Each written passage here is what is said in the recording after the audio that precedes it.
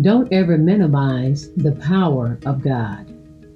Sometimes I think we forget or don't keep in the forefront of our minds who God really is.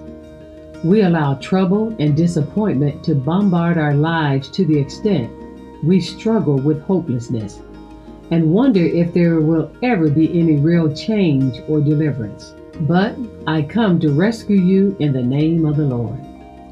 As I read the book of Isaiah, chapter 40, it re-emphasized the awesomeness of the God we serve. Verses 21 through 23 says, Have ye not known? Have ye not heard? Hath it not been told you from the beginning? Have ye not understood from the foundations of the earth? It is he that sitteth upon the circle of the earth, and the inhabitants thereof are as grasshoppers, that stretcheth out the heavens as a curtain, and spreadeth them out as a tent to dwell in. That bringeth the princes to nothing, he maketh the judges of the earth as vanity.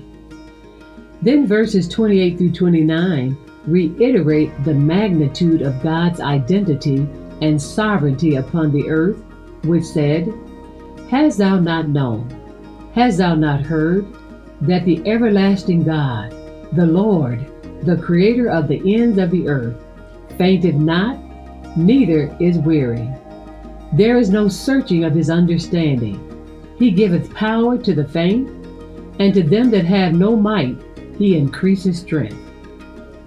With that being said, how can we minimize the power of God in any circumstance of our lives when God declares in Jeremiah 32 and 27, Behold, I am the Lord, the God of all flesh. Is there anything too hard for me? Along with that, Psalms 24 and 1 says, The earth is the Lord's, and the fullness thereof, the world, and they that dwell therein. So, why would God be so mindful of us to do this on a continuous basis? Because God declares in Jeremiah 31 3b, Yea, I have loved thee with an everlasting love. Therefore, with loving kindness have I drawn thee.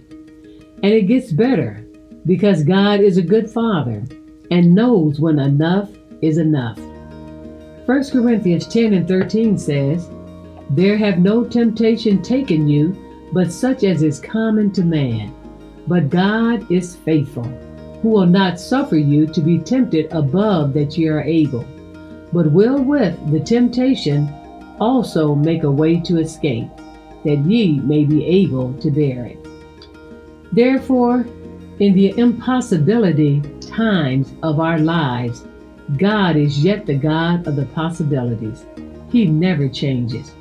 Just as the children of Israel came up against an impossible Red Sea that was before them, and Pharaoh's army behind them, God showed himself strong as he parted the Red Sea for them to cross over on dry ground, while Pharaoh's army drowned in the Red Sea. Exodus 15 8, 10 through 11 says, and with the blast of thy nostrils the waters were gathered together. The flood stood upright as a heap, and the depths were congealed in the heart of the sea. Thou didst blow with thy wind, the sea covered them. They sank as lead in the mighty waters. Who is like unto thee, O Lord, among the gods? Who is like thee, glorious in holiness, fearful in praises, doing wonders?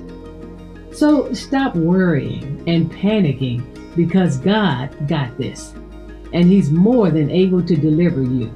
Lastly, Philippians 4 19 says, But my God shall supply all your need according to his riches in glory by Christ Jesus.